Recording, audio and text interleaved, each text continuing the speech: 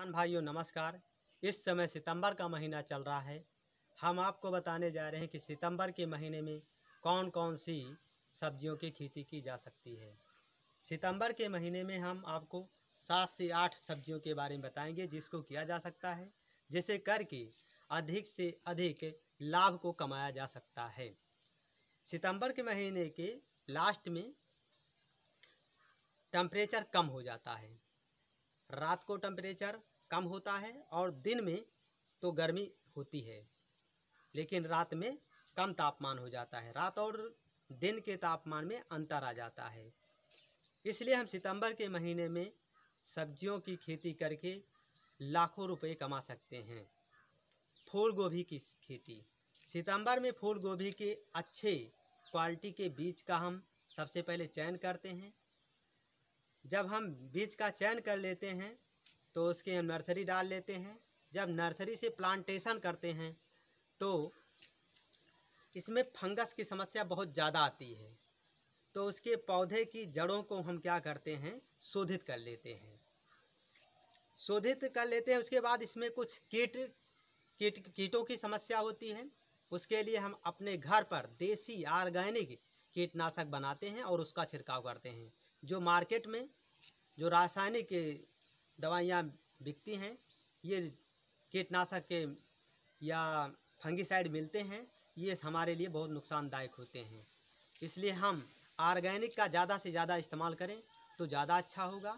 हरी मिर्च की खेती, क्या करते हैं इसमें सबसे अच्छे क्वालिटी के बीजों का चयन करते हैं। उसकी नर्सरी डालते हैं। जब नर्सरी में मिर्च की पौधे की पत्तियाँ चार पाँच पत्तियाँ हो जाएँ तो उसको हम क्या करते हैं? प्लांटेशन कर देते हैं। उसको उखाड़ करके खेत में लगा देते हैं। एक एकड़ खेत के लिए 150 ग्राम बीज की आवश्यकता होती है। उसके बाद है पालक की खेती। पालक की खेती में खर्च ना के बराबर लगता है। पालक की खेती में पानी के निकास की अच्छी व्यवस्था होनी चाहिए। क्योंकि पानी अगर भर जाता, भरा होता है तो इसके लिए बहुत नुकसानदायक है। पालक की हम कम से कम तीन से चार बार इसकी हार्वेस्टिंग करते हैं और खर्च बहुत कम लगता है, इसलिए हमको फ़ायदा ज़्यादा होता है। उसके बाद है गाजर की खेती। इस महीने में हम गाजर की खेती करते हैं, जिससे भी हमें बहुत फ़ायदा होता है। ये जड़ वाली फ़सलें, जितनी भी जड़ वाली फ़सलें होती हैं इनके लिए गहरी जुताई की आवश्यकता होती है।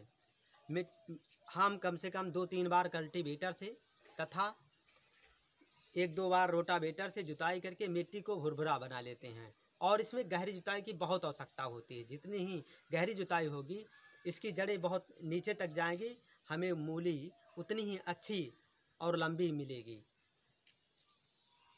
उसके बाद है चुकंदर की खेती। अगेती चुकंदर हमको क्या करता है? अच्छा रेट दे के जाता है। इसलिए हमें चुकंदर की खेती करना भी फ़ायदेमंद होता है। उसके बाद है शिमला मिर्च की खेती। शिमला मिर्च सितंबर महीने में हम शिमला मिर्च की खेती कर सकते हैं। सितंबर महीने में शिमला मिर्च की खेती करने से लीफ कर्ल की समस्या, लीफ कर्ल की समस्या बहुत कम आती है। इस महीने में हम जब शिमला मिर्च की खेती करते हैं तो हम इसके शिमला मिर्च को कम से कम छः से सात महीने तक इससे हमें शिमला मिर्च मिलती रहती है। इसलिए शिमला मिर्च की खेती करना बहुत ही फ़ायदेमंद है। उसके बाद है मटर की खेती। मटर की खेती के बारे में हम सबसे पहले खेत की तैयारी कैसे करते हैं? बीज का चयन कैसे करते हैं? और जुताई कैसे होती है? उसके बाद इसमें कौन कौन सी खाद डालते हैं?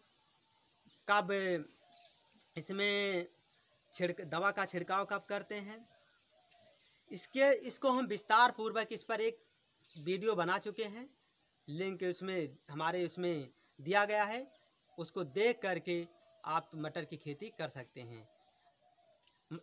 किसान भाइयों से अनुरोध है, यदि हमारा वीडियो अच्छा लगा हो तो लाइक करें, शेयर करें, सब्सक्राइब करें। धन्यवाद।